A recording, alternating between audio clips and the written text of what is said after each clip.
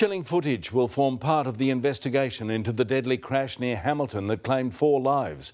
One of the teen's parents has made a powerful plea, urging youngsters to think twice before getting into a friend's car. Neri Tai has today's developments.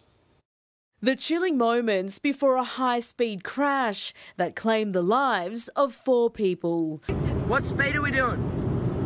Photo, 130.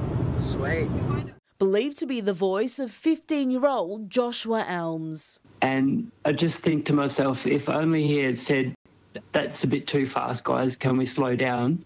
If he had stood up and said that, then maybe this wouldn't have happened.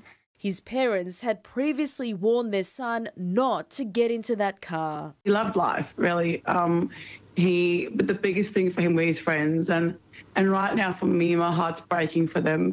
Josh was in the Toyota Corolla with sisters Megan and Georgia Fox, 17 year old Lucas Gazzoli, and 31 year old Alicia Montebello when the car veered off one in Nigretta Falls Road at Bochara near Hamilton. With no witnesses on a quiet country road, the victims were only discovered hours later. 17 year old Georgia Fox was clinging to life when she was airlifted to hospital where she remains in a serious condition. The 17 year old sole survivor remains here at the Alfred Hospital with family by her bedside. Police are hoping once Georgia feels better, they can interview her so she can shed more light on the circumstances leading up to this horrific crash.